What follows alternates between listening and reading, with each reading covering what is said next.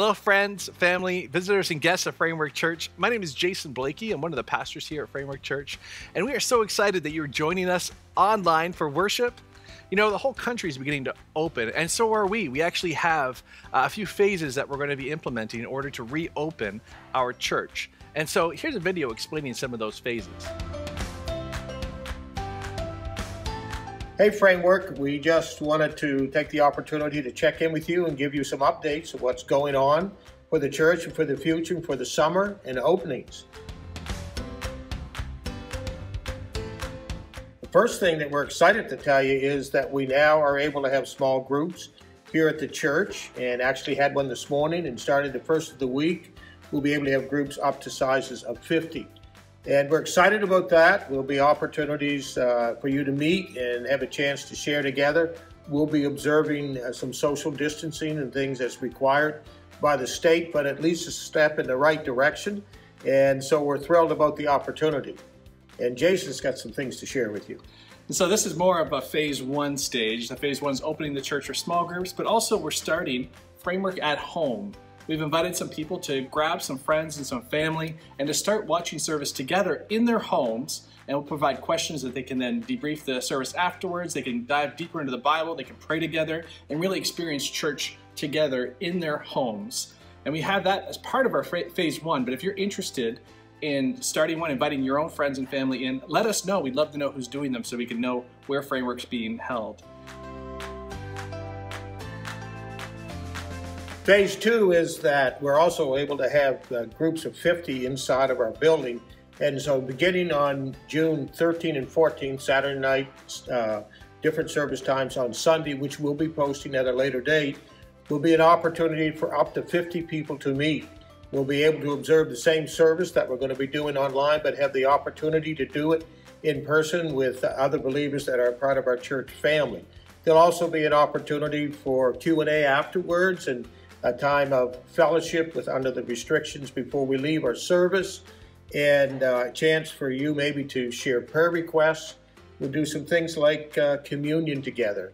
So some opportunities, uh, observing all the protocol we need to observe, but a chance for us to have the fellowship that some of you are really craving. And I know for me, uh, just being in a small group uh, was so exciting. So looking forward to those opportunities. Wanted you to know, and as things progress uh, in the days ahead, as they begin to open up, we'll be uh, letting you know. We're looking forward to the day when we can operate on a more regular basis. So look for more information on how we're going to be opening up on June 13th and 14th. We're going to give a little more detailed description on what that will look like, how to sign up, even if you're interested or not, or if you want to do the framework at home, that's not going to stop. We're going to keep going with that as well. And our online services are not stopping either. So we've got something for you no matter where you are, how comfortable you are in the middle of this pandemic. But we are excited that we get to start opening up again for those of you who are interested in joining us here at Framework Church. And while we here at Framework Church have really missed you, we've been trying our best to keep you healthy and keep lowering the spread of COVID 19. But we've also missed things like doing communion together, doing prayer. And so we have a really cool opportunity for this weekend, this Sunday. Here's Pastor Victoria to explain that. Hey, Framework family, Pastor Victoria here. Wanted to let you know about an opportunity that we have this Sunday from 12 p.m. to 2 p.m. right here at our Framework Centerline main campus uh, the pastors are going to be here. We want to invite you to come for a time of worship through drive-through prayer and communion. So we have got a bunch of these pre-packaged communion elements, the wafers right here at the top. We've got the juice underneath. We would love to pray over you and your families. We would love to partake of the sacrament of communion with you. We'd ask that you would come in through our main entrance on Centerline right to the front of the worship center door. Stay in your cars, please. We'll be there with masks and gloves, but we want to say hey and we want to worship with you through the sacrament of communion and lift up any prayer requests that you may have. We hope to see you this Sunday from 12 p.m. to 2 p.m. And so join us for communion. I'm excited about that. And I'll see you Sunday from 12 until 2. As we get to continue to worship together and as things are morphing, whatever you're comfortable with, whether it's online, whether it's framework at home and you're meeting with a few friends and family, or whether you're going to start joining us here on the 13th and 14th, we are just blessed that we get to worship with you. And so let's join in worship right now and worship our God together.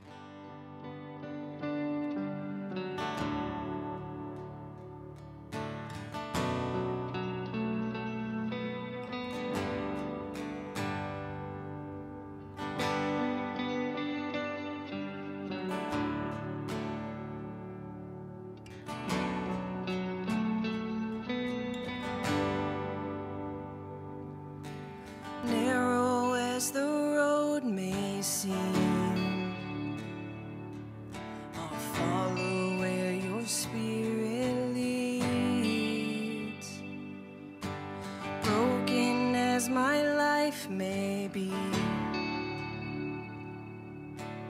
I will give you every piece.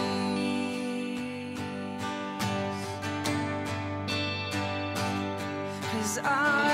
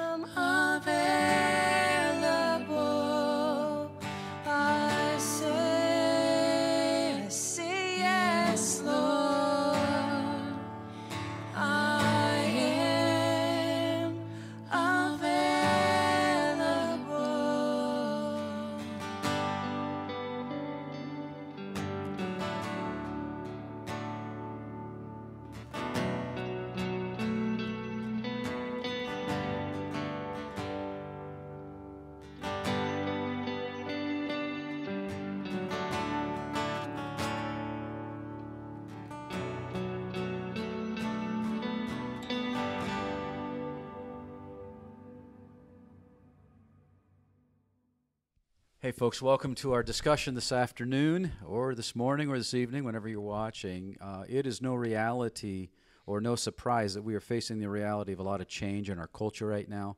So many things have changed, and change really signifies loss because when we change to a new reality, something's being given up. And we've been talking about that in staff meeting, realizing that the extreme changes that have gone on in our culture have led to such loss loss of jobs, loss of income, loss of, of plans for the future that it can lead to people experiencing grief. And so we decided that we wanted to have a conversation. This week it's going to be with the three of us.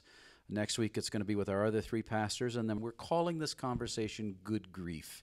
How do we grieve in the right way? How do we grieve in a way that leads to healing? And often when we think of grief, we think of the loss of a loved one. And certainly there are those who have experienced that as a result of COVID 19. But grief can impact us with other kinds of losses as well. And so, what we want to do is think about the different stages of grief, and we're going to base our conversation somewhat on Elisabeth Kubler Ross's book, seminal work, really, where she talks about the stages of grief. But there might be other ideas we want to bring into that, and certainly we want to look to the scripture. And for this first conversation, we've invited Pastor Parker and Pastor Debbie to be a part of it because they uh, really are involved with our student ministries from nursery all the way up through young adults. And that's a significant part of our congregation. And children, as well as teens and young adults, are experiencing or are expressing their feelings as a result of the loss in different ways.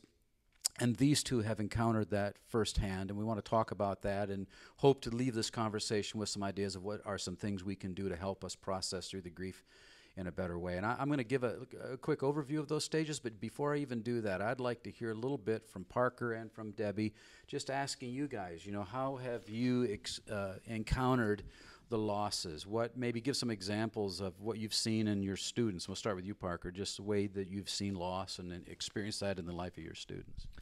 Uh, yeah, I find like our students are primarily expressing the the loss of friends. Uh, in my conversation, the the most common theme that I hear our students say is, "I just miss my friends."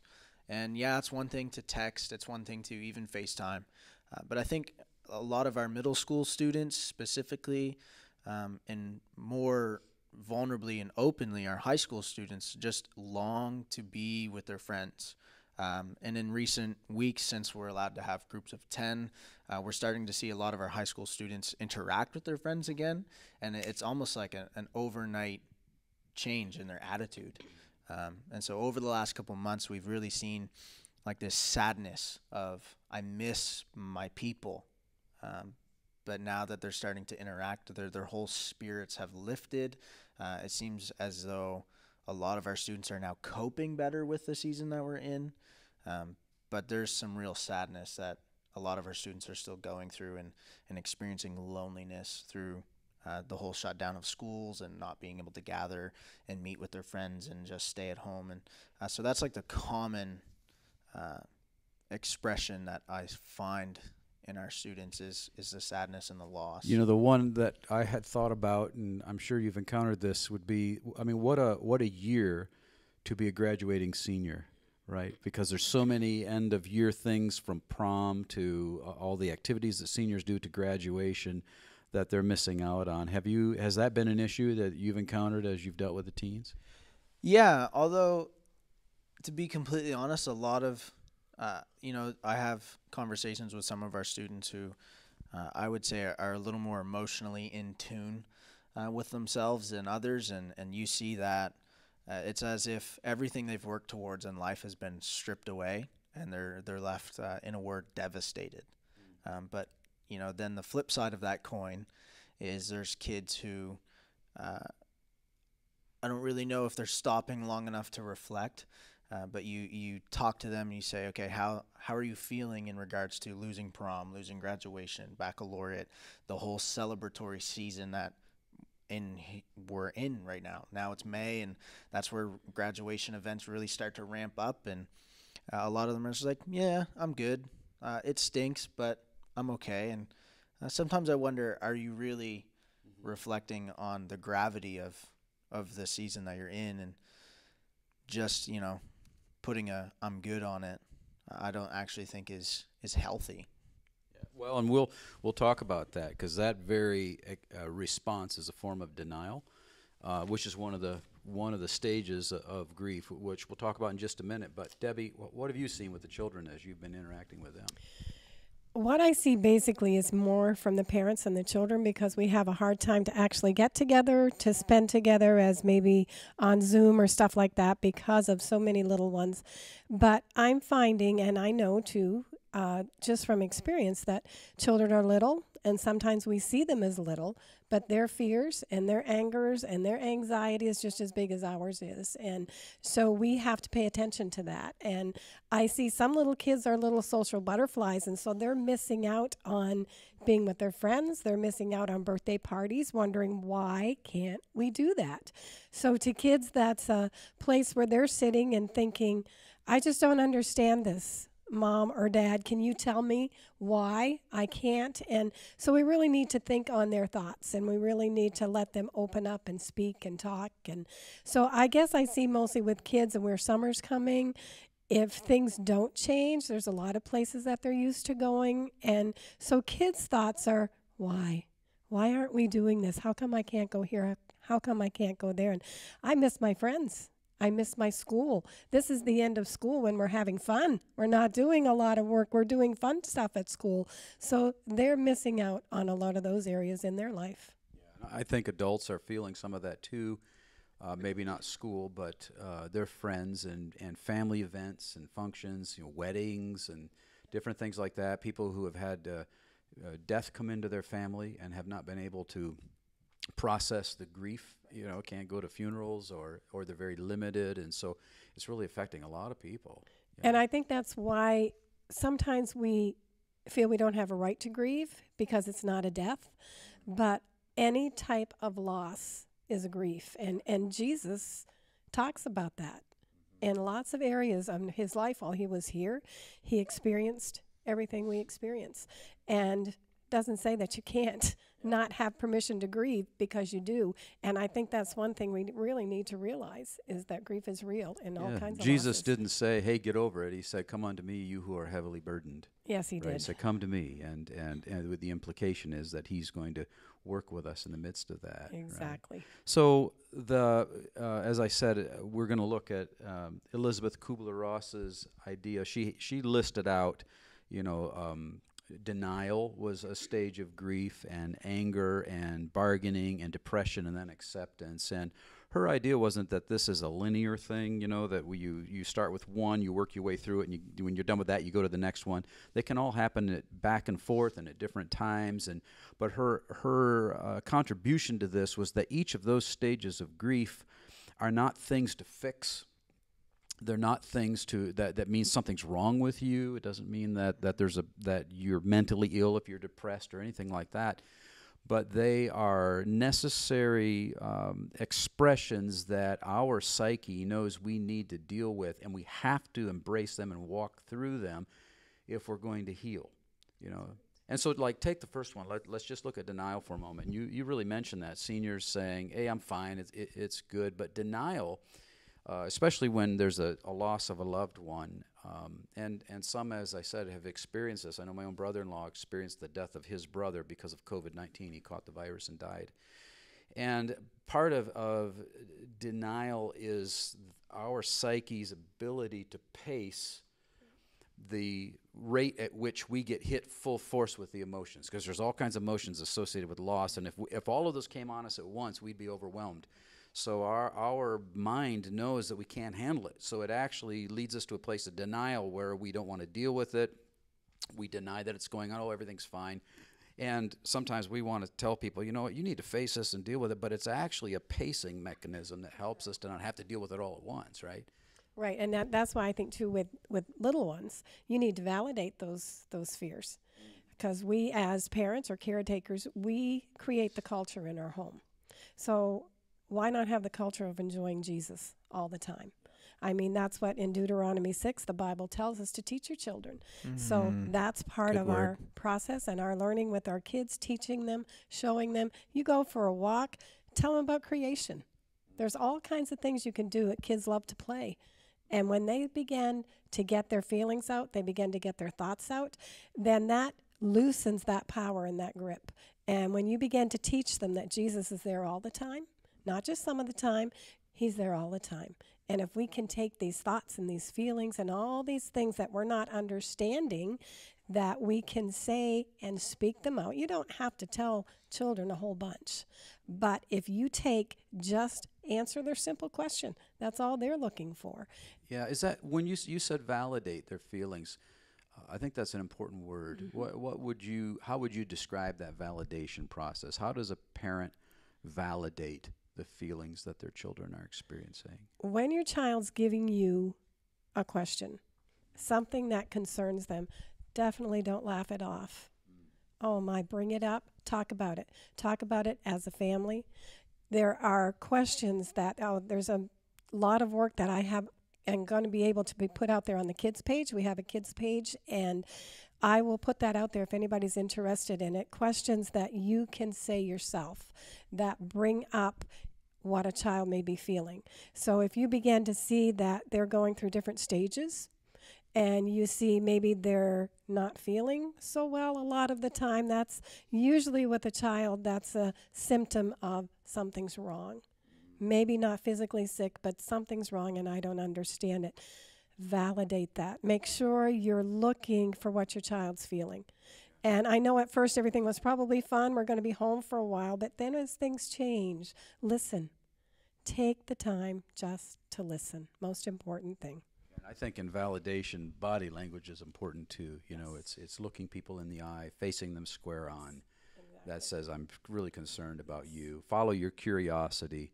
Try to, like you say, ask questions, that type of thing. Uh, Parker, in our conversation prior to when we started taping, we're talking a little bit about anger you know, which is another one of those stages that people go through. And you were talking about uh, rebellion. Kind of, kind of flesh that out a little bit. Some of the things you were seeing and your thoughts about that a little bit. Yeah. Uh, first, I, I want to just like encourage parents. Like one of the best things you can do to validate your children is talk to them.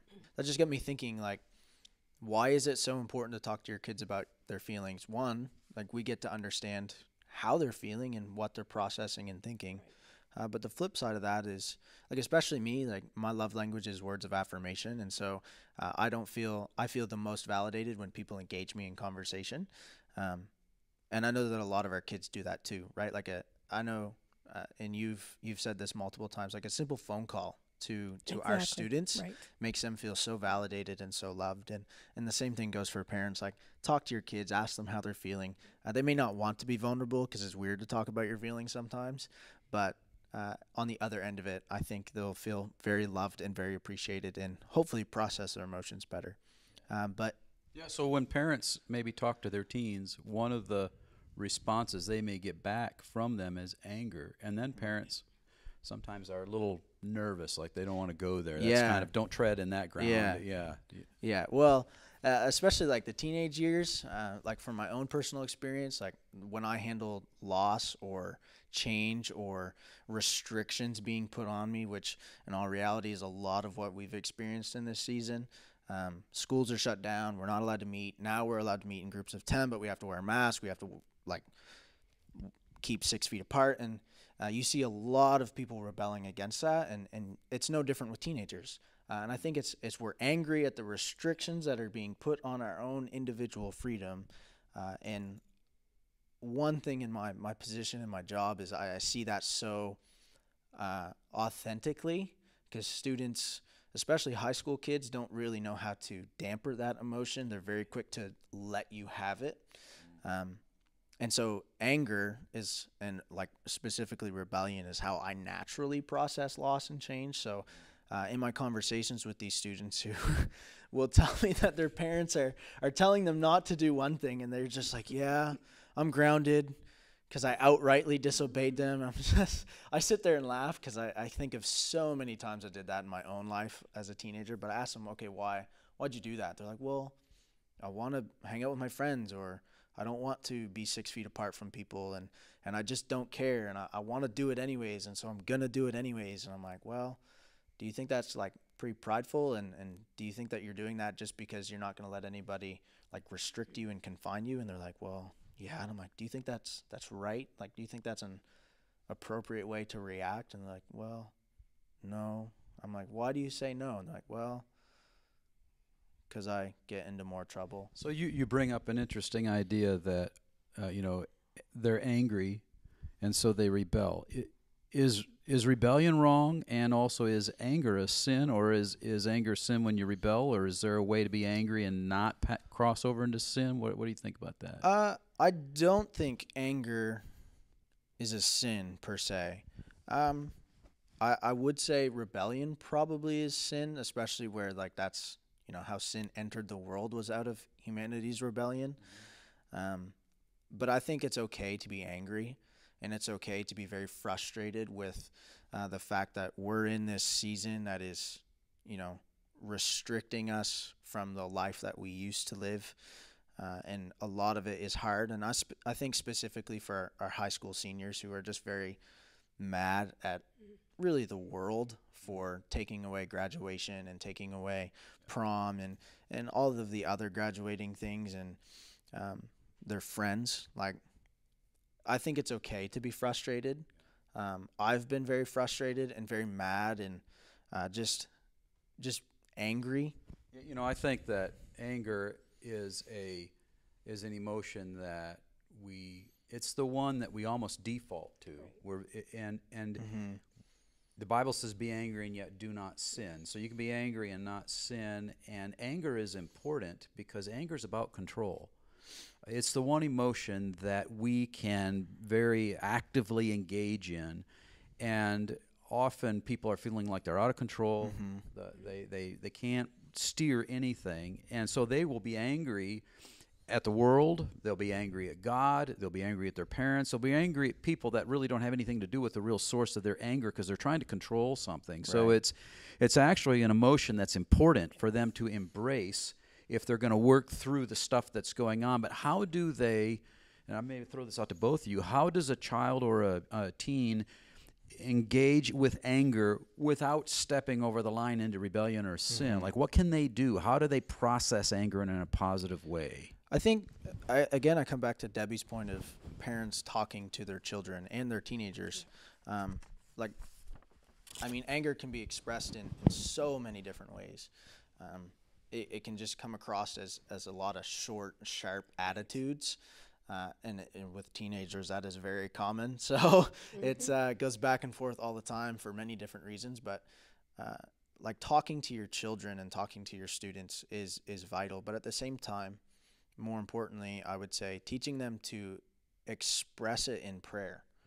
Um, we've been we do youth group through Zoom on Sunday nights, and one of the things that we've been looking at the last three or four weeks has been prayer. And last week specifically, uh, we looked at sitting in the presence of God, venting our emotion, both good and bad. And that's been almost a game changer and a lifesaver in this season for myself. And that's part of the reason why I share that with students. And, and I started asking them, like, why do we not go to God and, and in a word, lament, um, express our feelings?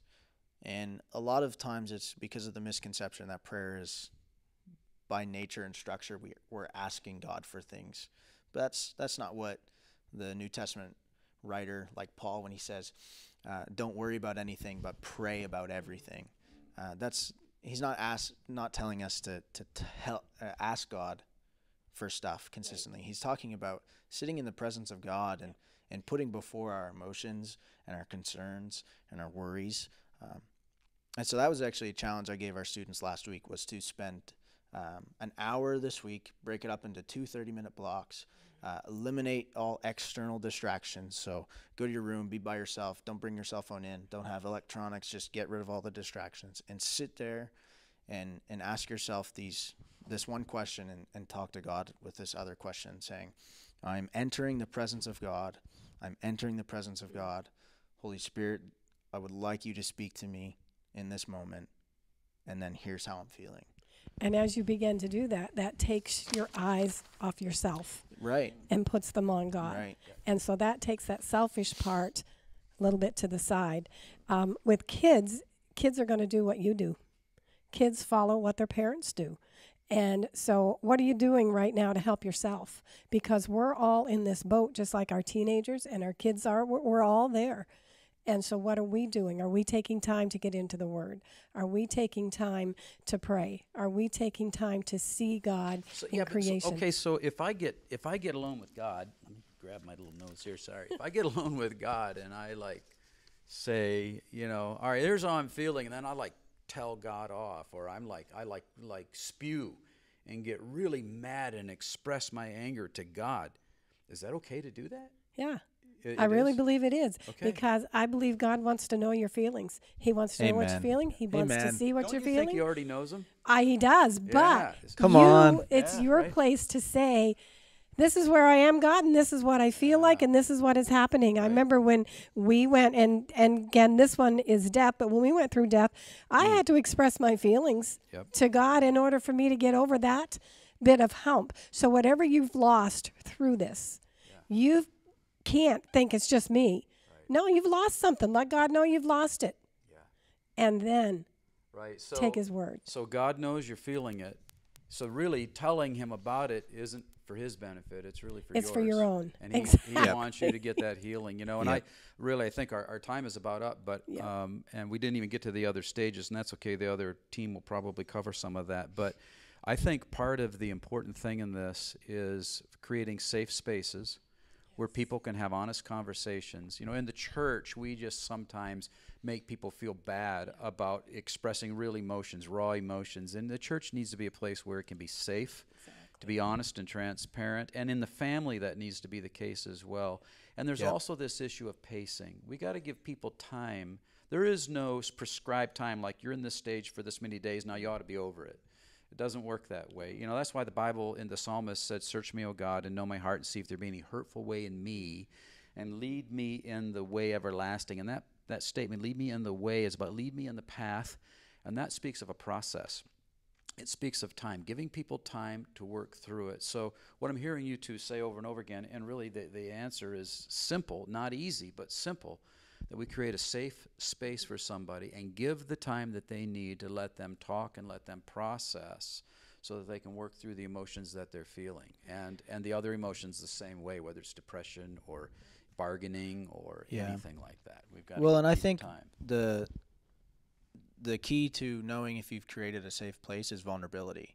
Uh, one of the one of the people that I read a lot of her work in preparation for this, and have always really enjoyed what she has to say is Brene Brown, and I mean she's pretty much done uh, her entire career on on vulnerability and pain and loss and, and grief uh, and and this sort of stuff. And and there's a, a TED talk that I was watching, and she talked about how like healing and um, restoration never actually happens until we enter a place of vulnerability, until those walls and those guards of our emotional um, restriction is let down and we can let our feelings and our emotions out. That is where healing and and getting over grief happens. And I think that that's why, like the psalmist write that down. And it's been thousands of years that we've we've known this. God's known this. He's taught us this. But human nature, I think, wants us to to restrict and restrain. And then grief presents itself in different ways. And and that's where healing comes in a safe place is through vulnerability. Yeah, being able to say to God, you know what, I'm a wet mess, hot mess, and God is okay with that. He knows that. Um, all right, thanks, guys. This is so informative. Can I Really leave you good. with just a, an You- example, you, real leave quick? us with an example, and then we're going to say a word of prayer. I heard this example on Dr. Jeremiah just a couple weeks ago, and I thought, how amazing. Um, uh, Dr. Burnhouse was his name, Barnhouse, and he was actually a doctor or a pastor in Philadelphia, and his wife had passed away. He had his children, and they were just returning home from the funeral. And so on his way, he was thinking, I need some way to comfort my children. And so as soon as he was thinking that, this huge truck was going by them. And as it was, it was a huge shadow. And he said to the kids, he said, Kids, what would you rather have? Would you rather have this truck run over you physically, or would you rather have the shadow run over us? And they said, Well, of course, Dad, the shadow, because that way it's not going to hurt. And he said, That's what Jesus did over 2,000 years ago. A truck of death or grief, whatever you're facing, ran over him so that we can just be in the shadow of it. And I thought that was so amazing. That sounds like, yea, though I walk through the valley of yes, the shadow that's exactly of where death, it comes from. I will fear no evil, for you are with me, your rod and your He's staff. they already done comfort it me. for us. That's Yeah. really good. Hey, let's pray together, can we? Dear God, we thank you that uh, you took on the reality and the substance of the pain so that we just experience the shadow. And like um, Paul, we say, Oh, death, where is your sting? And we thank you for the promise of resurrection. Now, Lord, I pray that you would give us uh, presence of mind and the ability as parents and leaders in the lives of our children and teens to create safe spaces. We have margin. Help us to use that margin of time and uh, and sheltering to create safe spaces where our kids can process. Give us the courage to wade into raw emotions with our family in ways that are positive and ways that are healthy so that as we embrace these things we're feeling, you can do that work in us that you promised to do, and you can lead us in the way everlasting. Let that be a reality in our church and in our families and our homes. We pray it in Jesus' name. Amen. Hey, God bless you. Thanks for joining us.